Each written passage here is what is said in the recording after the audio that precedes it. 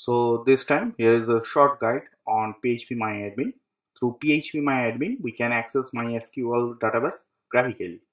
Uh, this is the login screen of PHP with FQDN with SSL from Rackspace Cloud. And after login, you will get the screen of PHP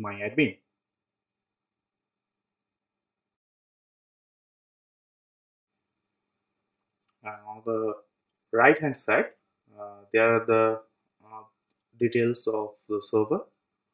Uh, it is IHL with Apache 2.2 so with latest version of MySQL and PHP MyAdmin. Uh, official links are also there. Uh, you can change the theme if you want and here are the shortcuts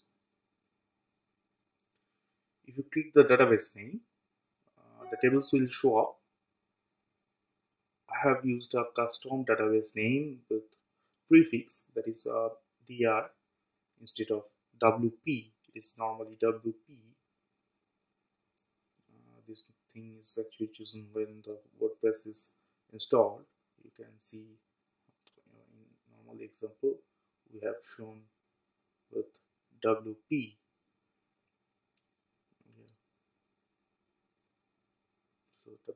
Options, but here is DR options. And in our website, in this guide, basically you will find which tables are important for export. There is no need to export all the database tables blindly.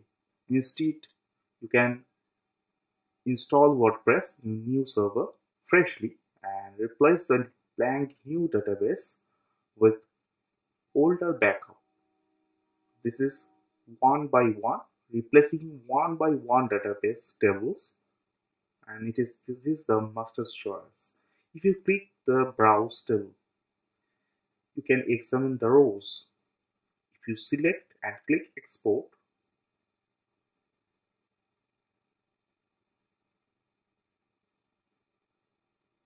in this case,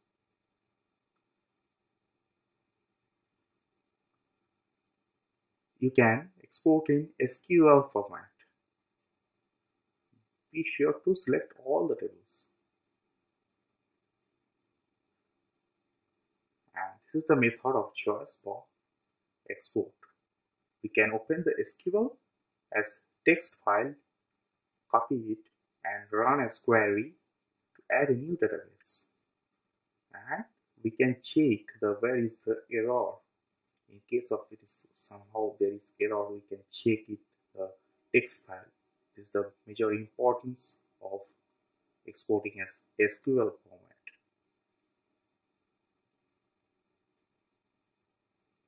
You can see there's a lot of rows.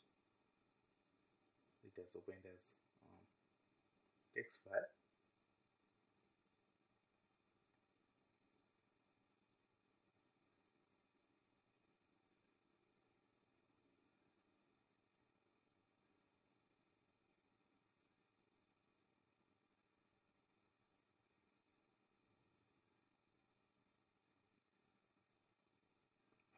this is the method we usually follow uh, to import a table or database as a whole.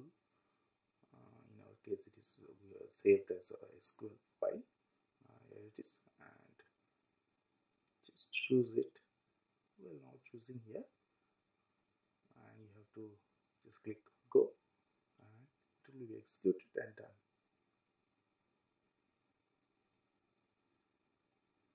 This field is for running MySQL queries. Just we have say one part that is we can calculate the old database to restore. And another part is to run certain MySQL commands. Like in this case.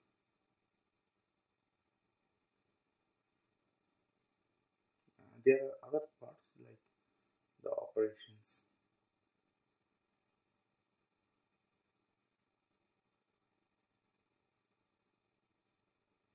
synchronize. Uh, this synchronize is actually for master replication for creating a scalable MySQL database. We have separate guide on that part and here you actually it is uh, advanced usage this tab shows the various other details as well as the settings tab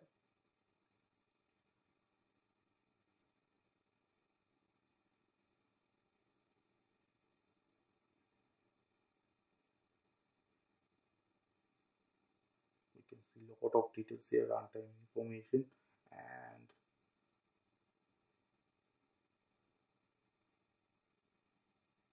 if there is replication active we will get the information as well.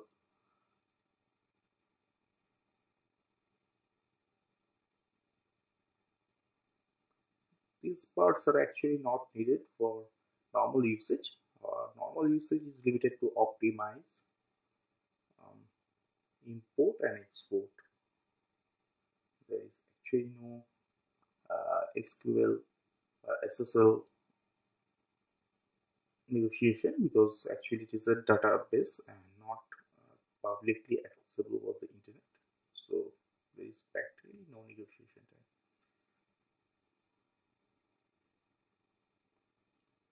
The only process we can see here is running. And now back to the database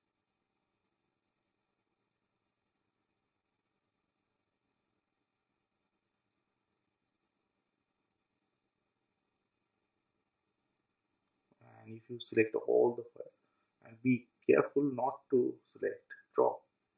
It's a dangerous command to delete all the tables together. And we are optimizing here?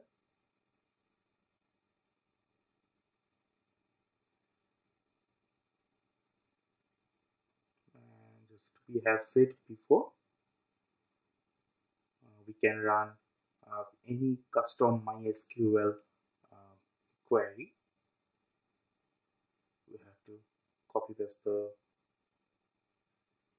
required uh, MySQL command query actually and you need to properly correct it because for example in this case it is not WP the database name is um, starts with dir if I do not correct it it will throw error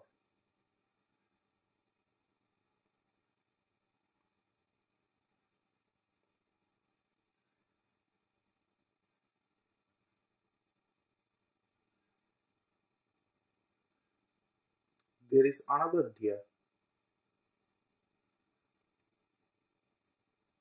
So again error. Now this part here. Now it will run okay. Yes, you can see. And now we getting the bulk export. This is most frequently done. is bulk export, and you can create any uh, new uh, database from here, the table from here.